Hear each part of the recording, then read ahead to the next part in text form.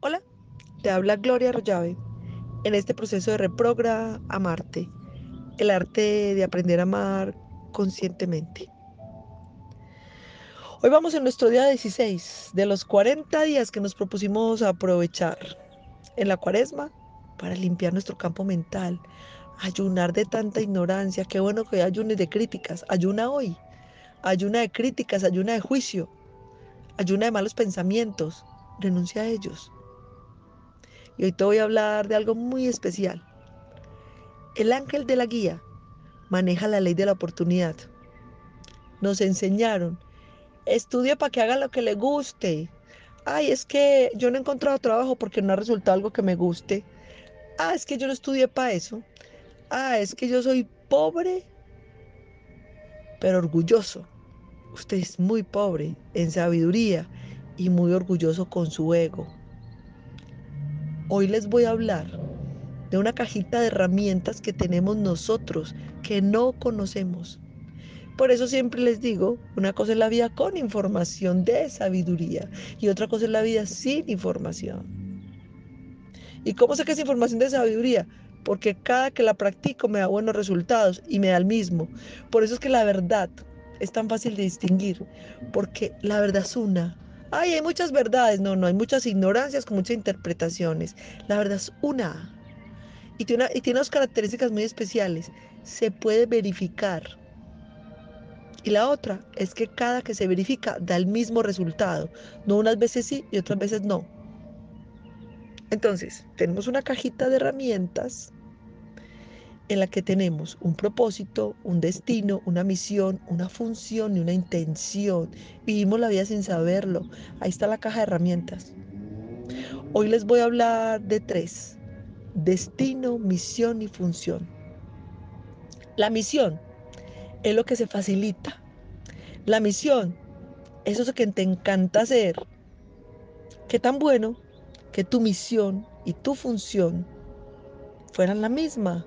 La función es por lo que te dan una retribución económica para cubrir las necesidades, los gastos de subsistencia para estar en este plano material. Es por lo que te pagan.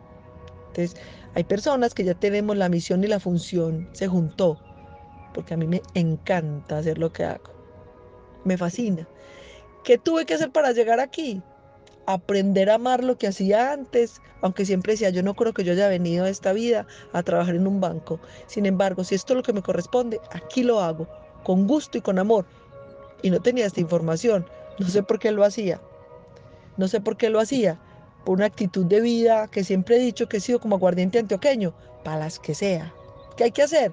Venga que yo lo hago, no tengo problema.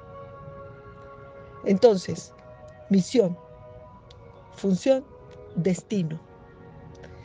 Estas herramientas nos van a ayudar a comprender este proceso.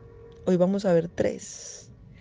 La función la puedes reconocer súper fácil. La función es aquello en lo que te ha fluido la economía. Que te guste o no es otra cosa. No tiene nada que ver. El gusto es del ego. Que te, ay, no, es que a mí sí me va bien en eso. Lo que pasa es que a mí no me gusta hacer eso. Eso no tiene nada que ver con la sabiduría. ¿En qué te ha ido bien económicamente alguna vez? ¿En qué momento? Piénsalo en este momento. Ay, sí me iba muy bien, pero es que yo vivía tan harto, tan aburrido, eso no era lo que me gustaba. Entonces, cuando hablamos de función, no estamos hablando de que la función sea precisamente lo que te fascina y lo que te encanta hacer. Todo el mundo anda buscando un trabajo que le guste, una función que le guste. Y justo la función es una tarea, aquello en lo que puedes aprender para trascender espiritualmente. Generalmente lo que las personas llaman lo mío, ah, esto sí es lo mío, o ah, eso no es lo mío, cuando tú dices, esto no es lo mío, eso es justamente lo que es para ti, eso es lo tuyo, porque es exactamente lo que te va a permitir trascender tu destino.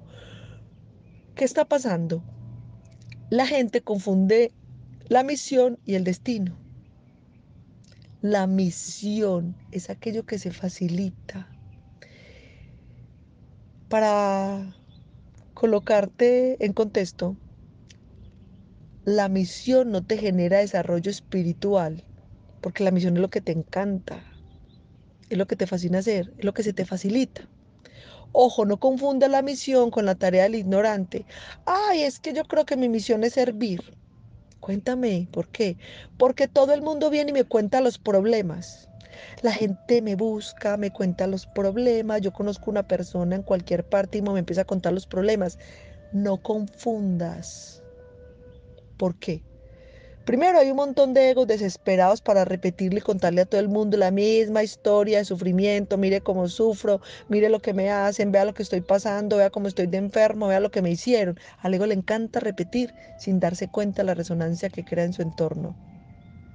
Y a ti te encanta escuchar los problemas de los demás y eso te hace sentir bueno, aunque no sepas cómo ni tengas con qué, porque ni siquiera has hecho tu trabajo. Si no has hecho tu trabajo, si no has generado buenos resultados en tu vida, en tu paz interior, en tu economía, en tus relaciones, en tu adaptación. Ven y cuéntame cómo le vas a servir a los demás. Mi misión es servir. Lo que pasa es que no tengo con qué ni sé cómo, porque no he hecho mi tarea. Todo el mundo quiere sal salir como el compañerito, que por ejemplo no ha logrado desarrollar su examen o no ha logrado hacer los ejercicios que le colocó la profe. Sin embargo, le quiere ir a ayudar a todos los demás. ¿Cómo? Si no sabe hacer los de él. Constantemente nos rodeamos de personas que están bloqueadas. Y vemos personas bloqueadas. O nosotros también estamos bloqueados. Seguramente quiere salir de ese bloqueo. Es que nadie vive maluco porque quiere. Ay, Gloria echando cantaleta. Que no estoy echando cantaleta que no, te estoy invitando a reflexionar. Yo sé que no estás ahí bloqueado con problemas, sin encontrar tu función, tu misión. Ni siquiera sabes cuál es el propósito que te trajo aquí. No es porque quieras, es porque todavía no sabes cómo. Y para eso hay que abrir la mente. Hay que liberarse de las creencias, aprender a desaprender el maravilloso ejercicio.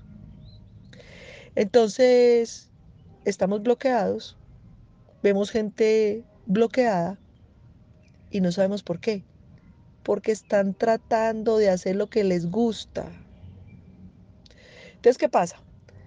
Cuando la función es una actividad que no te gusta, sin embargo te genera ingresos para vivir, hay que hacer un cambio mental. Y la, lo que siempre le digo a las personas en las conferencias de las empresas, si no puedes hacer lo que te gusta, aprende a que te guste lo que haces. Hay que empezar a amar lo que hacemos, el trabajo que hacemos, amar la función, empezar a llenarnos de valoración, de entusiasmo, de agradecimiento, de alegría hacia aquello que estoy haciendo. En ese momento estás transmutando tu destino en misión. Mira qué bonito. Tienes una función.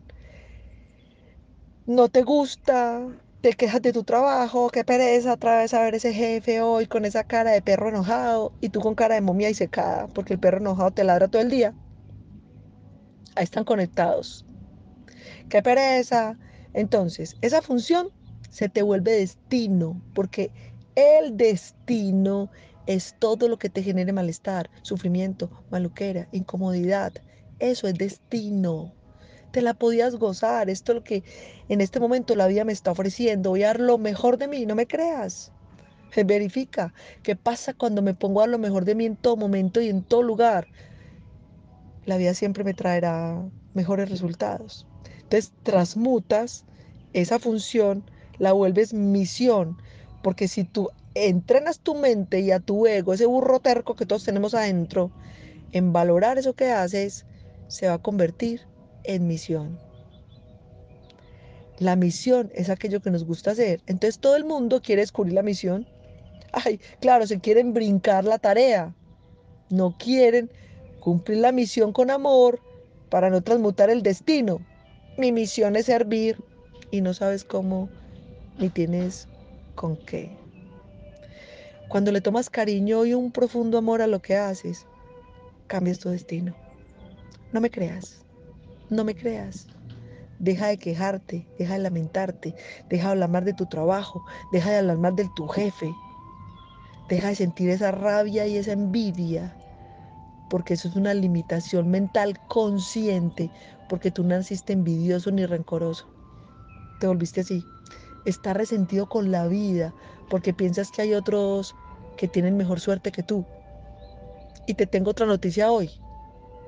La mala no es suerte, no existe ni la mala ni la buena. Las personas que se disponen a aprovechar las oportunidades que la vida les da en todo momento para dar lo mejor, a eso la llaman personas que tienen buena suerte. Y las que se educan a luchar por no hacer lo que la vida les está colocando enfrente, porque están esperando que les llegue lo que les gusta, a eso lo llaman mala suerte. Eso es un tema muy apasionante. Me encanta porque lo podemos verificar en nuestras vidas, porque lo he verificado, porque lo he visto en la vida de muchas personas. Si no puedes hacer lo que te guste, aprende a que te guste lo que haces y hazlo con amor y con dedicación y con profundo empeño para que no conviertas en destino, amargura y enfermedad eso que haces. ¿Por qué te incapacitas tanto? ¿Por qué te incapacitas tanto? ¿Por qué te enfermas tanto? ¿Será que sí tiene que ver con lo que piensas de lo que haces? El 10 de abril vamos a iniciar el taller de ángeles, le cambiamos la fecha, porque como tenemos el encuentro de mujeres y hay muchas actividades con el encuentro, entonces el 20 de marzo, escucha bien, el 20 de marzo tenemos una conferencia, el origen emocional de las enfermedades, porque hay muchas preguntas de enfermedades, entonces vamos a tener una conferencia donde vamos a contestar preguntas muy puntuales de enfermedades que nos han hecho. O sea, de las personas que se inscriban al curso, vamos a responder preguntas y explicar cómo es ese origen. Y el 10 de abril vamos a dar inicio al taller de ángeles, que es un taller. Iniciamos con una presentación en vivo, yo voy a estar ahí, voy a estar hablando de este tema en detalle, la cajita de herramientas, misión, función, propósito, intención, destino. ¿Qué estamos haciendo aquí si no sabemos manejar la caja de herramientas? El 10 de abril comienza el taller de los ángeles, donde les explico cómo funciona cada una de las leyes a través de los ángeles. Abril 10 del 2021, marzo 20, tenemos muchas cosas, estamos muy activos, porque la idea es compartir, compartir, compartir información. En todas mis redes sociales se encuentran información, cursos, talleres, información gratuita, el mensaje de todos los días. Estoy aquí para servir y porque en muchas cosas ya sé por dónde es y por eso he logrado el cómo y el con qué. Bueno, ¿será que hoy estás dispuesto a ir a tu trabajo y a tu función con amor? O sigue siendo un sufriente que todos los días coge metro, transmilenio, bus, va a pie, en bicicleta, en carro, con cara de momia y secada, a hacer una función de zombie. Te habló Gloria Rollave, te deseo un feliz y maravilloso despertar de conciencia.